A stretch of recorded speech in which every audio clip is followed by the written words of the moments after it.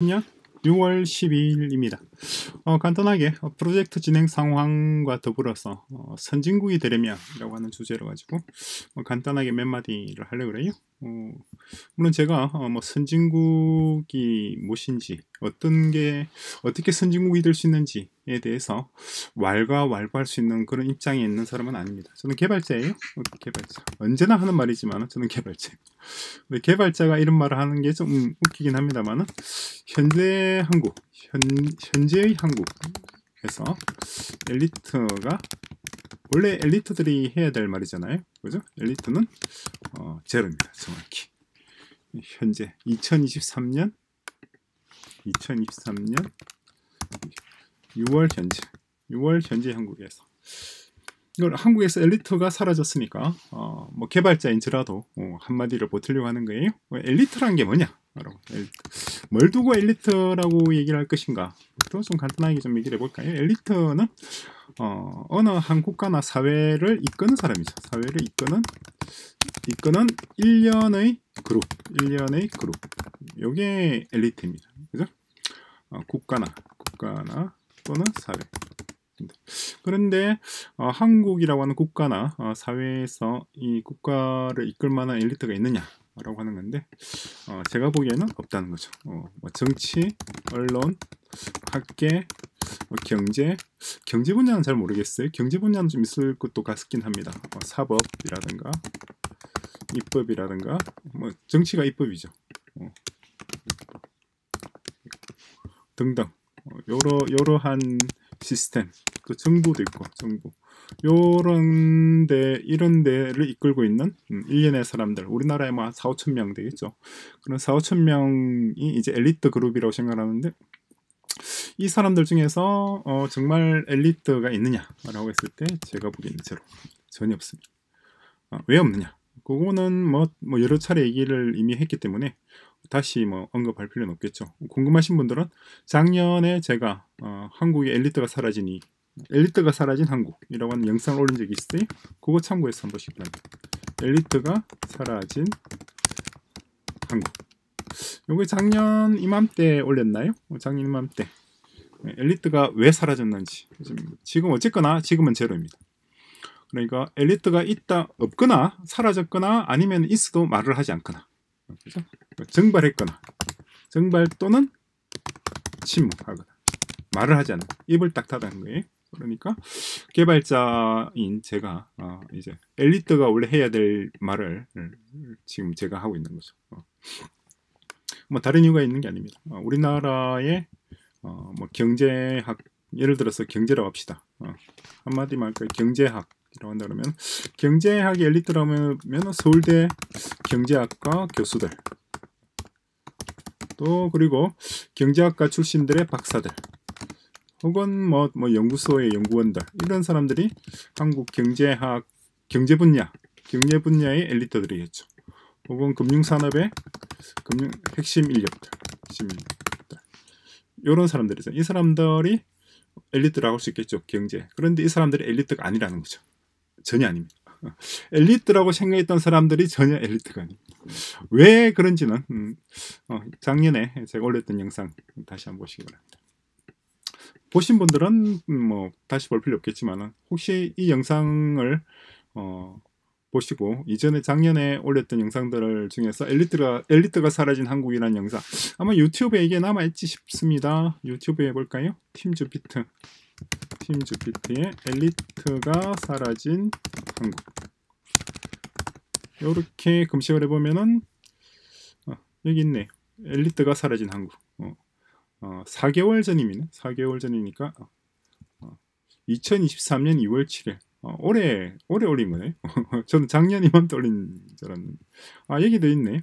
어, 2022년 11월 5일, 작년 11월 엘리트가 사라진 한국. 어, 있어요. 요거 보시면은 뭐 제가 왜 이런 뭐 얘기를 하는지 충분히 납득할 될 겁니다. 그런데 한 가지만 더 하면 선진국도 없다는 거죠. 우리가 어, 선진국이라고 생각했던 나라들 중에서 선진국은 제로. 단 하나의 나라도 선진국은 없습니다. 어, 이번 우크라이나 전쟁의 어떤 음, 많은 사실을 드러냈어요. 그런데 미국이 이, 착한 나라가 아니다. 나라가 어, 정말 착한 나라가 아니죠. 어, 이번 주, 지난주죠. 이번 주입니다. 지금입니다. 지난 며칠간, 예를 들어서 지난 며칠간 우크라이나의 사상자를 7천명 정도, 전사, 사상자. 지난 며칠간, 지난 일주일간 사상자를 7천명. 그 사이에 러시아의 사상자는 500명 정도로 봐요. 러시아. 어, 뭐 정확한 건 아닙니다. 뭐 누가 발표한 건 아닙니다만은 어, 뭐 인터넷상에서 혹은 유튜브상에서 뭐 신뢰할 만한 나름 신뢰할 만한 소식들을 어, 종합해서 판단해 보건데 우크라이나는 7,000명, 러시아는 음, 뭐 350에서 500명 그 정도로 보고 있어요. 350에서 500명. 그리고 교환비라 그러죠. 교환비를 15대 1 정도로 보고 있습니다. 어, 교환비 15대 1의 전쟁 상상이 되나요? 어, 적군 한 명을 사살하기 위해서 아군 15명이 죽는 게 교환비 15대 1입니다. 지금 이런 전쟁을 하고 있다는 거죠. 어, 우크라이나가. 누가 이런 전쟁을 하느냐는 거죠.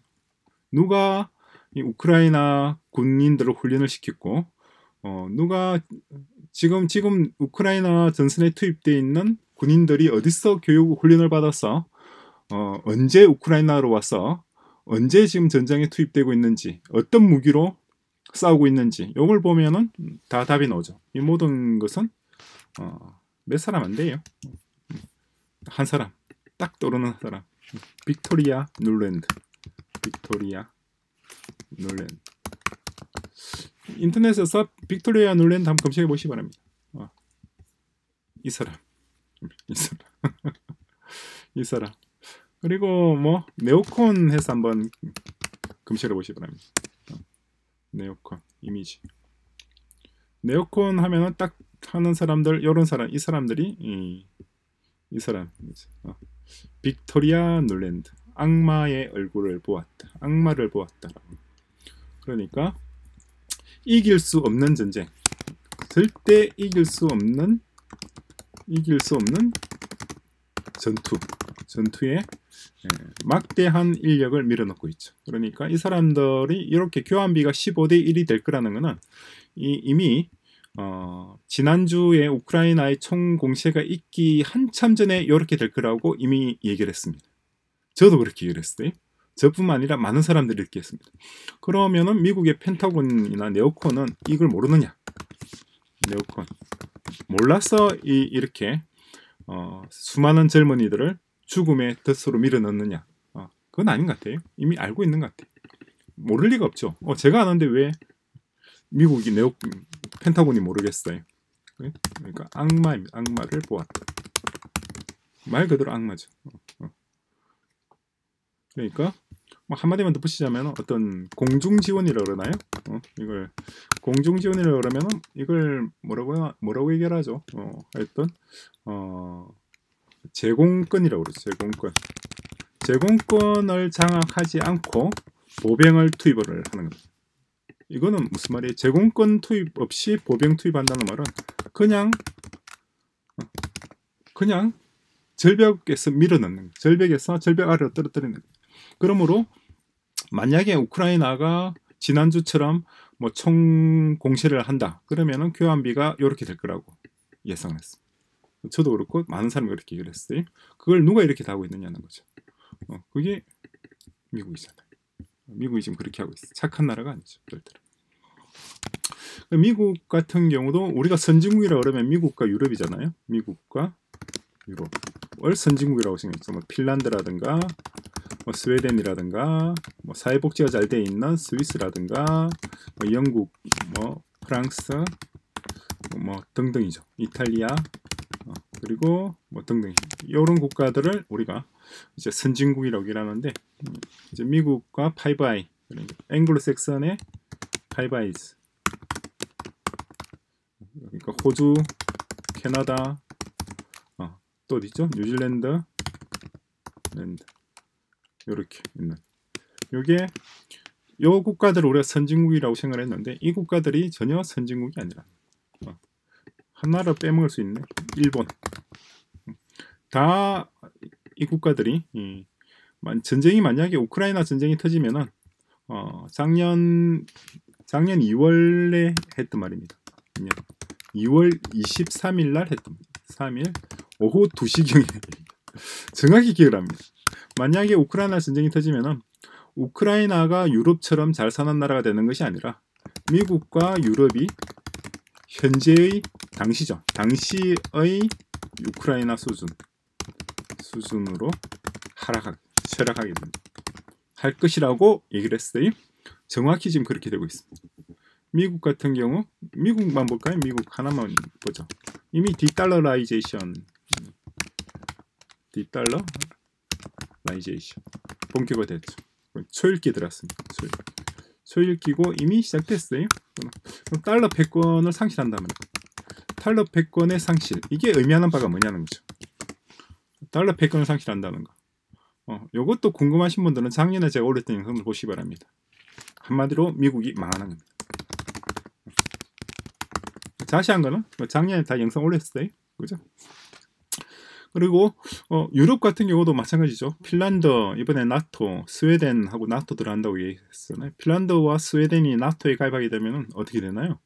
그러면은 어, 피곤합니다. 굉장히 피곤합니다. 어, 우리가 잘 사는 나라 대표적인 게 핀란드, 스웨덴인데 이 나라도 끝났어요. 영국, 프랑스, 뭐 독일 말할 거 없고 어, 다 끝났습니다. 이것도 작년에 다 올렸어요. 다 올린 내용이니까 다시 반복하지 않겠습니다. 근데 핀란드, 스웨덴은 작년에 이제 언급한 적이 별로 없어가지고 지금 오늘 얘기를 해볼게요. 나토 가입을 합니다. 나토 가입하면 어떻게 되나요? 국방비 지출에 그죠? 크지도 않은 나라에서 막대한 국방비를 예, 지출해야 돼요. 스웨덴 같은 경우는 항공전력 예전부터 어, 그리펜이라고 아주 훌륭한 전투기를 생산하는 국가죠. 그래서 국방비 지출을 상, 당히 올리게 지출의 증가가 되겠습니다. 어, 부담이 증가되는데 문제는 뭐냐니까 핀란드와 스웨덴의 소득 주 소득이 어디서 오느냐는 거죠. 이 소득원 소득원은 이건 유럽입니다. 유럽이고 유럽과 미국이 근데 유럽과 미국이 망하면 핀란드와 스웨덴도 자동으로 같이 망할 수밖에 없는 구조입니다. 미국은 이미 뭐 망할 수밖에 없어요. 어, 그럴 수밖에 없는 구조입니다. 어, 그 우리가 정확히 좀 파악을 해야 돼요. 제 얘기가 아니라 그렇게 얘기하는 사람이 있더라는 겁니다. 미국이 망하는 이유. 어, 첫 번째는 경제 측면에서 금융세 금융 패권의 몰락, 패권의 상실. 두 번째 군사 측면, 군사력 측면. 미국의 막대한 군사력. 미국의 군사력이 과대평가된 대표적인 국가가 미국입니다. 미 군사력의 과대평가. 미국 예를 들어서 미국의 군사비 지출이 미국을 제외한 다른 모든 국가들의 군사비 지출과 맞먹을 정도로 크죠. 천조, 천조 이상이에요. 매년 매년 천조 이상. 그리고 전 세계 80여 개 국가, 여 국가의 군사기지만 800개. 우리나라에도 한 10개쯤 있죠. 그죠? 요걸 운영을 하고 있단 말이에요. 그리고 최신의 최고의 전투기 F-35, 뭐 F-22, 그리고 에이브럼스 전차. 에이브럼스 전차. 스펠링 모르겠네. 이렇게 적는 건 모르겠다. A가 뭐 대충 비슷하게 이렇게 적는 전차 이런 것들이 미국의 어, 핵심 무기 그리고 항공모함도 있죠. 항공모함, 항공모, 잠수함 요거 이런 것들인데 자, 이 중에서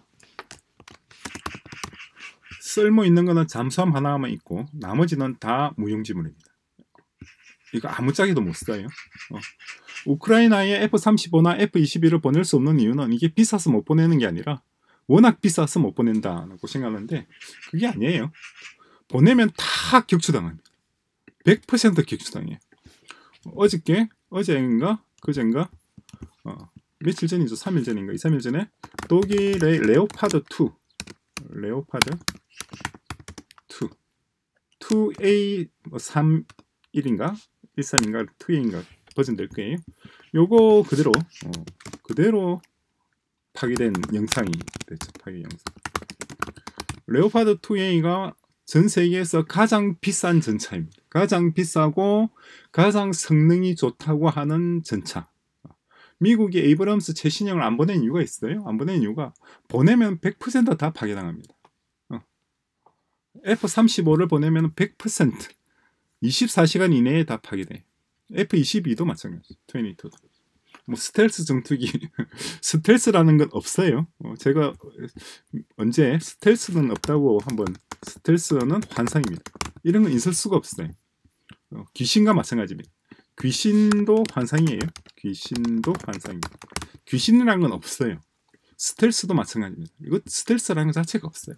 이것도 이전에 올린 영상이 있으니까 그거 참고 참조하시기 바랍니다.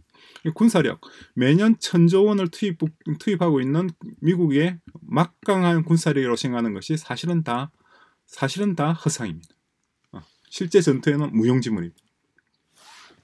왜 무용지물이냐니까 어, 킨잘 같은 킨잘 극초음속 무기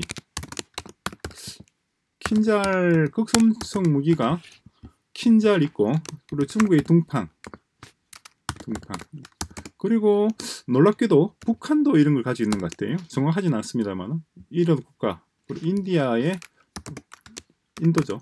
어. 인디아 브라모스 브라모스 요런 요런 것들이 극초음속 무기입니다. 그 중에서 인디아 브라모스는 좀 수준이 떨어지고 요 세 나라는 수준이 상당한 걸로 어, 좀 알려져 되게 그렇게 알려져 있다기보다는 그렇게 얘기하는 사람들이 있어요. 있는데 요거는 방어 체제가 없어요. 방어 방법 방법이 막을 방법이 없어요. 그러니까 보통 방어를 한다는 거는 방어는 종류가 크게 두 가지 군대 갔던 사람들은 다 알 겁니다. 방어라고 하는 것은 어, point defense가 있고 point defense 그리고 area defense 한국으로 뭐라 그런지 모르겠습니다만 어떤 지점을 방어하는 것, 특정한 지점을 방어하는 것이고 그리고 특정한 영역, 지역을 방어하는 것 두 가지잖아요. 두 가지인데 이번에 패트리엇 뭐예요? 패트리엇은 원래 영역 방어, area defense를 해야 돼요. 어, point defense는 말할 것도 없고 area defense까지 해야 되는 것이 패트리엇 시스템입니다. 시스템입니다. 사드, 사드랑 같은 거예요. 패트리엇이나 사드나 같은 겁니다. 사드는 주로 ballistic 탄도탄에 대응하는 것이고 패트리엇은 탄도탄이라기보다는 유도 뭐라고 해야 되나요? 그래서 그걸 크루즈 미사일, 크루즈 미사일이고 얘는 ballistic 미사일이고 그리고 서로 용도가 조금 다르긴 합니다만 장거리, 원거리 타격이고 근거리 타격용인데 어쨌든 본질적으로 같은 기술이에요. 어, 둘다 레이 어느 회사죠? 레이시온이라고 하는 회사죠. 레이시온 이런 회사 제품인데 요것들이 무용지물입니다. 막을 수가 없어요. 그러니까 우리가 어, 굉장히 강력하게 생각했던 막강한 방어 체계도 사실상 어, 아무런 의미가 없어요. 레이시온이라고 해서 우리나라에도 꽤 알려져 있는 회사 우리나라 KF-21과 개발 전투기 개발하고도 또 상관이 있죠. 록히드 마틴만 관련이 있는 것이 아니라 레이시온도 관련이 있는데 레이시온 이름도 재밌어요. ray ray는 엑스레이 할 때 그 ray입니다. 어, 광선이라는 뜻이죠. 광선. 엑스레이 ray. 시온은 C, 시오, 시오가 뭐예요? 시오. 시오는 신이죠, 신. 그 시어, 시얼러지 하면 신학이잖아요. 그죠? 그 시오는 신입니다. 신. 그 신의 광선입니다. 신의 광선. 레이시온사. 신의 강사. 이런 이름을 붙이게 된 것도 뭐 유래가 있는데, 뭐, 뭐 그럼 차차 기회가 있으면 한번 얘기를 합시다. 그러니까 군사력도 과대평가된 사실상 미국의 군사력은 이미 중국과 러시아에 에, 역전됐어요. 중러와 역전됐어요. 어, 왜냐니까 미국은 극초음속 무기 체제가 없어요. 극초음속 공격 체계도 없고 극초음속 방어 체계도 없습니다. 어, 그리고 군사력도 이미 중로와 역전된 상황이고 경제력도 역전된 상황이고 물론 핵전쟁이 일어난다면 상황이 다르긴 하겠습니다만 핵전쟁은 둘 다 죽는 거니까 의미가 없죠. 어, 누가 세고 누가 뭐 약하고 의미가 없습니다. 재래전을 따지고 얘기했을 때 재래전은 어, 이미 어, 미국이 중국과 러시아의 군사비를 10배 이상 쓰고 있지만 그건 의미가 없다는 거죠. 아무 의미가 없어요. 어. 어 어, 뭐 얘기를 하다 보니까 전쟁 얘기를 하고 있네. 선진국이 되려면 이게 주제인데 어, 엉뚱한 얘기만 하고 있었어요. 이렇게 두 수가 없습니다.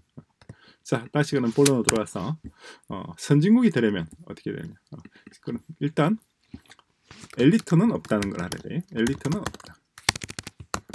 두 번째는 선진국도 없다. 또 없다. 그러니까 우리가 엘리트라고 생각했던 사람들 중에서 엘리트는 전혀 없어요. 뭐 노벨상을 받았으니까 똑똑하다.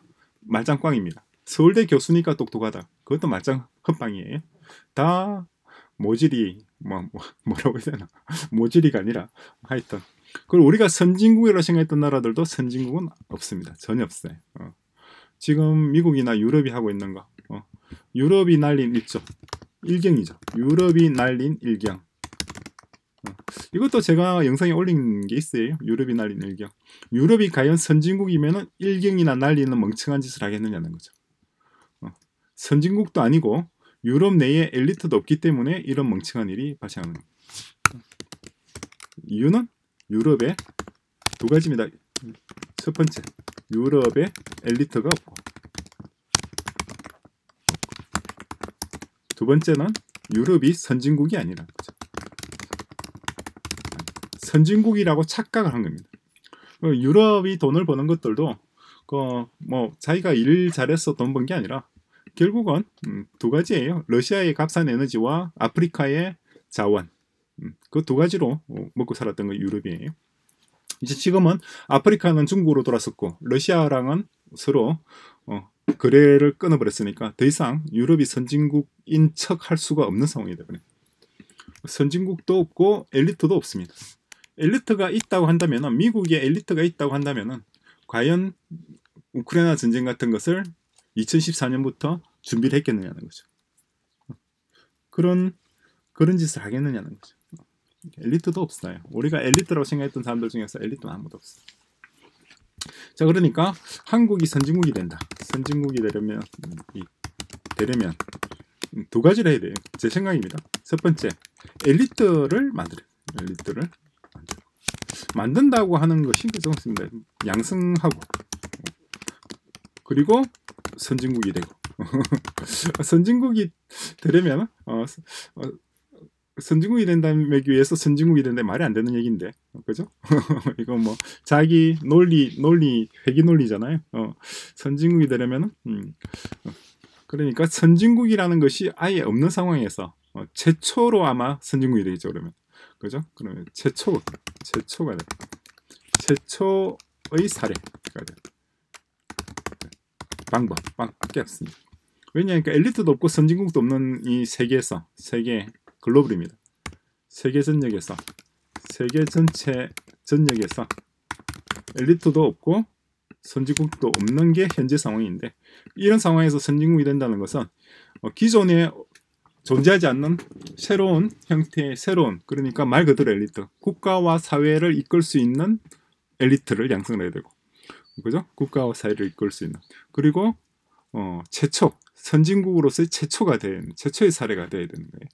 어, 이전에 없던 이전에 없던 뭔가를 해야 됩니다. 어, 그 방법이 뭐냐는데 어, 그건 제 생각에는 데이터입니다. 데이터. 어, 데이터가 유일한 방법입니다. 이게 무슨 말이냐니까 데이터는 힘이 세다고 방금 제가 간단히 얘기를 했는데 어, 데이터는 정말 힘이 셉니다. 어, 데이터가 있으면은 데이터를 수집하고 수집하고 그리고 분석하고 음, 과정 분석하고 그리고 뭔가 정책을 입안하고 그리고 정책을 실행하고 피드백을 받고 피드백 역시도 데이터잖아요. 이 데이터가 되고 그리고 이 데이터로 다시 분석하고 또 다시 정책을 수립하고 요 과정 이게 사이클이죠. 요 사이클 이 사이클을 자동화시켜야 돼요. 네. 전 데이터의 수집과 분석과 정책의 입안 정책 입안이죠. 정책 입안 입안과 결정이죠. 결정하고 요 전체 과정을 전 과정을 자동. 요게 엘리트가 되는 그러니까 요, 요 전 과정을 자동화해야 되고 요렇게 했을 때 선진국이 최초에 아마도 세계 최초의 선진국. 최초. 왜? 지금까지 선진국이라 생각했던 건 다 허상이란 말이에요. 핀란드나 스웨덴은 선진국이 아니에요. 어, 아닙니다. 독일도 선진국이 아니에요. 프랑스도 아니고 영국도 미국도 캐나다도 아니에요. 선진국은 없어요. 제가 100% 확신을 가지고 얘기합니다. 그리고 엘리트도 없습니다. 어, 그러니까 세계 최초의 선진국이 된다는 것은 그럼 엘리트는 뭐냐는 거죠. 엘리트. 엘리트는 바로 요 과정. 이 과정을 자동화할 수 있는 시스템을 만든 사람들. 시스템을 만들고 그리고 운영할 사람. 일련의 그룹. 요 사람들이 되겠죠. 그리고 이, 이 엘리트들의 작업에 의해서 그 결과물로 만들어지는 것이 선진국. 구체적으로 데이터를 수집하고 분석하고 입안 결정한다는 게 뭐냐? 라고 하는 건데 조금 더 구체적으로 얘기해 보죠. 어, 개인이 개인 개인은 음, 모든 자본주의 사회에서 모든 개인은 경제 활동을 하죠. 경제 활동. 경제 활동을 하는데 뭐 구체적으로 예를 들면은 뭐 짜장면을 사 먹는다거나 아니면은 숯불갈비. 아, 숯불갈비 먹고 싶네. 숯불갈비 먹는다. 버스를 타거나 지하철을 타거나 학교에 가거나 병원에 가거나 시청에 가거나 어, 그리고 뭐 등등 해수욕장에 가거나 이 모든 것이 다 경제 활동이잖아요. 이 경제 활동을 모두 다 기록을 할수 있는 모든 경제 활동을 기록을 하는 게 근데 개인의 경제 활동을 기록하게 되면 그러면 어떻게 되나요? 자동적으로 가족의 경제 활동, 경제 활동 그리고 기업이나 혹은 단체나 혹은 지역의 경제 활동에 대한 모든 정보를 기록할 수가 있겠죠. 정보를 기록. 그죠? 어, 그럼 예를 들어서 어, 어느 한 개인 개인의 기록을 가족 단위로 취합을 하고 혹은 기업 단위로 취합을 하고 기업 기업과 단체 그리고 읍면동 단위로 취합을 하고 시군구 단위로 취합을 하고 광역시도 시도 그리고 국가 차원 이렇게 취합을 모든 데이터 모든 데이터를 취합을 할 수가 있다면 이렇게 취합을 할 방안이 있다 그러면은 그러면은 굉장히 많은 일을 할 수가 있습니다. 굉장히 많은 간단히 뭐 읍면동 단위 읍면동 단위의 뭐 1인당 GDP GDP도 분석할 수가 있죠. 그리고 각 읍면동의 읍면동 각각의 소비 패턴 그리고 생산 그죠?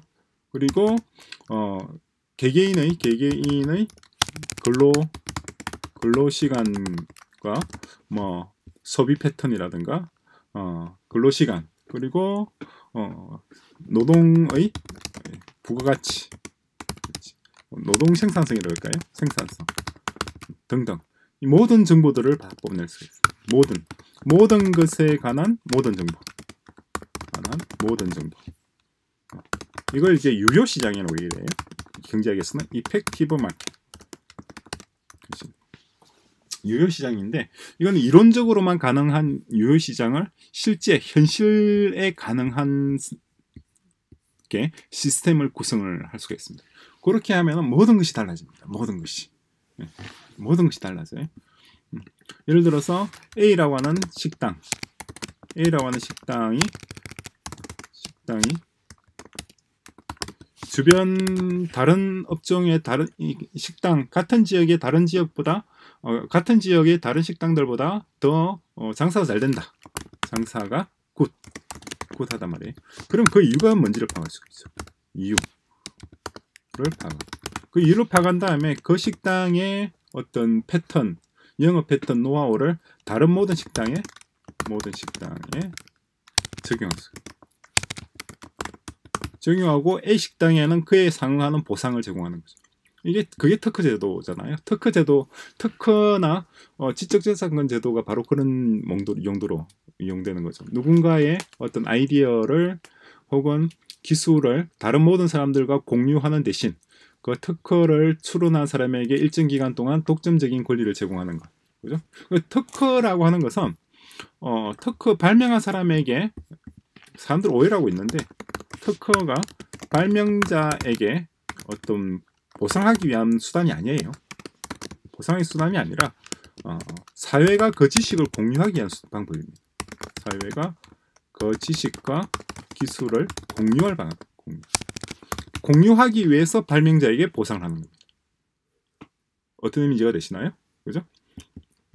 그래서 만약 A 식당이 뭔가 다른 경쟁력이 탁월하다 그러면 그 탁월한 경쟁력을 분석을 해서 그 경쟁력을 다른 모든 식당에 적용을 하게 되고 그럼 어떻게 되나요? 그럼 모든 식당들 식당이 상향 평준화되죠. 하향 평준화가 아니라 상향 평준화. 이 서비스 수준 상임 그죠? 그리고 그 상응하는 보상은 A 식당에 제공하는 겁니다. 요걸 사람이 하는 것이 아니라 시스템이 요걸 하도록 했습니다. 어떤 의미가 되시나요? 네. 시스템 사람이 개입하는 것이 아니라 시스템이 이러한 일련의 과정들을 진행을 하는 거예요. 그리고 예를 들어서 자영업을 한다고 합시다. 우리나라 자영업 하면서 어 3년 이내 폐업할 확률, 폐업률 정확하지는 않은 모르겠습니다만은 이게 60% 이상이라고 얼핏 기록을 봤어요. 그러니까 어, 돈을 수억 들여서 뭔가를 시작했는데 망할 가능성이 3년 이내 망할 가능성이 무려 60%란 말이에요. 어. 이것도 마찬가지입니다. 시스템을 구성을 돼. 시스템을 구성하면은 사영업을 사업을 하기 전에 그 사업이 될지 안 될지를 오차 범위 99.9%의 예, 확률로 미리 예측할 수가 있어요.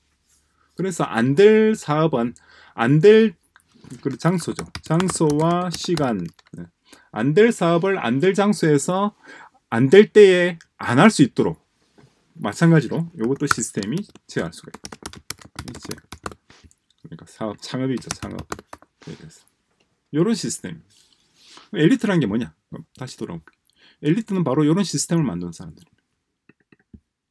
방금 제가 말씀드린 그런 시스템을 만들고 운영하고 갱, 만들고 갱신하고 갱신 및 운영할 일인의 그룹 기술 그룹이죠. 기술 그룹. 요 그룹들이 엘리트이고 이 엘리트들이 만든 시스템을 적용한 국가가 선진국입니다. 그죠? 결국 모든 것은 데이터입니다. 데이터는 힘이 셉니다. 데이터가 얼마나 힘이 센지 힘이 센지 사람들이 상상을 잘 못하고 있어요.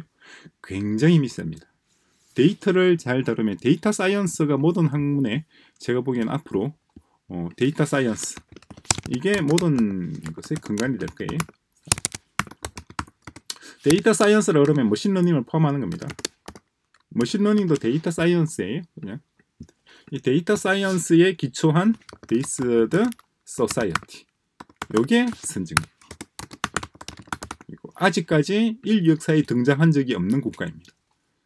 지금까지 선진국은 없었어요. 어. 우리가 선진국이라고 착각한 국가들만 있었죠. 어, 허상만 있었습니다. 자, 이렇게 해서 간단하게 예, 얘기를 했습니다. 우리 선진국이 되려면 데이터를 다뤄야 됩니다. 데이터를 다루려면 시스템을 만들어야 되고 시스템을 만들려면 코딩을 해야 되겠죠. 어, 개발자. 개발자들이 제 역할을 할수 있는 사회. 그런 나라가 선진국이 될 거예요.